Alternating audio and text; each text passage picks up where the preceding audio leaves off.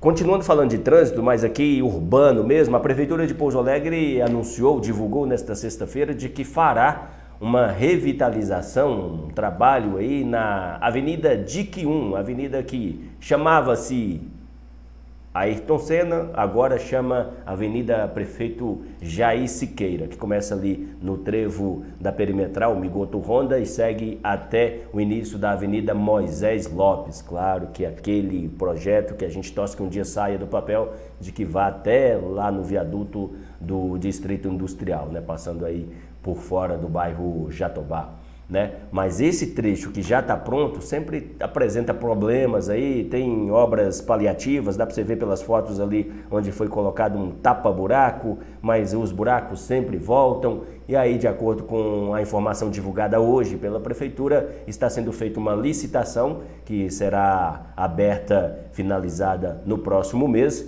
e aí vai ser feito todo um trabalho ao longo de toda a DIC 1, nas duas pistas, né? sentido centro e sentido bairro, e também será construída uma pista aí para caminhada, para facilitar a vida das pessoas que costumam fazer o seu exercício nesse trecho. Tem gente que fica andando na beiradinha no meio dos carros, ou quando o capim está alto, tá andando com o capim até na cintura. Já viu isso, Iratã?